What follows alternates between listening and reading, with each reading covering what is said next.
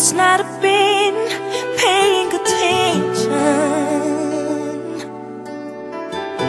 I stepped right on in it, didn't even notice how deep I was. I went from the ground to the top of the cloud. And now as I look down, I see where I fell